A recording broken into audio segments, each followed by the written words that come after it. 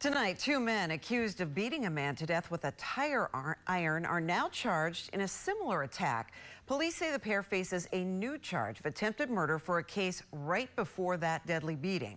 News Channel 8's Brittany Muller is live in the Tampa newsroom with details. Brittany? Stacey, good evening. Authorities have described this case as very heinous and very violent. Two suspects are behind bars in connection with beating two men with a tire iron, attempting to kill one and killing the other.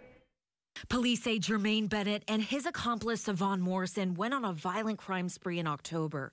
The pair filmed themselves damaging cars in St. Pete. Bennett and Morrison appeared back in court today facing a new charge of attempted murder in the first degree. St. Pete police say the two attacked a man with a tire iron while he was walking along 22nd Avenue North. Records show the victim was struck in the arm, chin, and ribs. He survived the attack. An hour later, Bennett and Morrison drove to Clearwater, where police say they beat 49 year old Jeffrey Chapman to death with the same tire iron. It happened as Chapman was riding his bike home on Mandalay Avenue. Chapman's friends gathered for a celebration of life a month after his death. Bennett was charged with first degree murder. Police say he admitted to hitting Chapman more than 10 times with a tire iron and showed no remorse for killing him. Morrison was also charged. Police shared a portion of their text, which they say connect them to the crimes.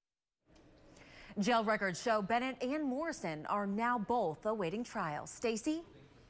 All right, Brittany, do police know if there's any connection between the victims and the suspects in this case? Stacy, St. Pete police say they are not aware of any prior connection.